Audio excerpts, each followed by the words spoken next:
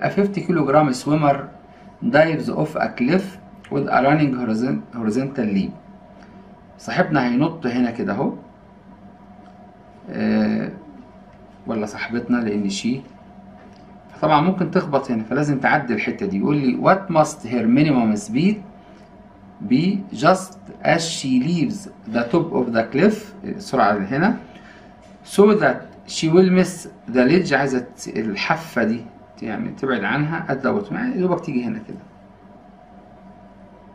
تروح واقعه كده.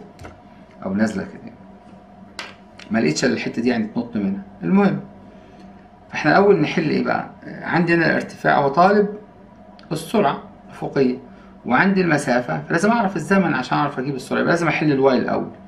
يبقى أقول ال delta y أنا عايز أجيب الزمن. V naught y أو V initial y t زائد نص a t square طبعا واضح في الرسم إن هو ما عندوش سرعة رأسية.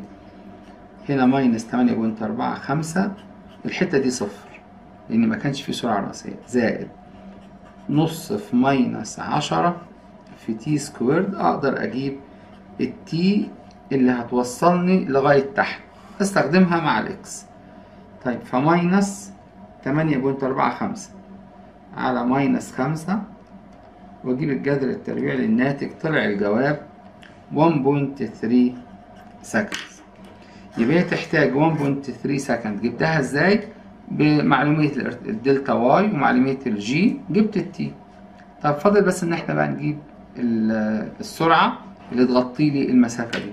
طبعا بالنسبة لل delta x عارفين إن هي V i x أو بقى V naught هنا في t طيب ال t اهي. وال delta x هو مديهاني على الرسم 2.6 طيب اذا 2.6 على 1.3 هتبقى ال V naught اللي محتاجها 2 متر ثانية دايما في ال x عندنا العلاقة دي مفيش غيرها ال delta x تساوي V naught t فلو عندي ال V naught أجيب ال t والعكس. طيب هو إحنا عايزين إيه؟ عايزين ال V naught يبقى محتاجين ال t يبقى لازم أبدأ بال y. عندي معلومات عن ال y آه عندي ال delta y وعندي ال acceleration طبعا. ومفيش سرعة رأسية ابتدائية جبت الزمن أخدته على ال x جبنا السرعة.